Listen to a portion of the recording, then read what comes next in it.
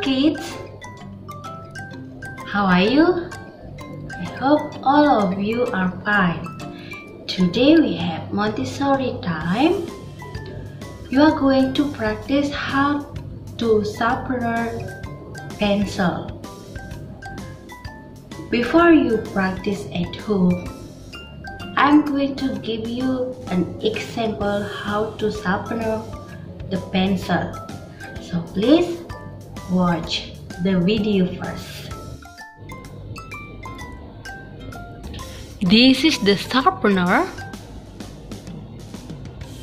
There are pencils and one bowl for put the rubbish. So please hold the pencil by right hand and the sharpener by left hand.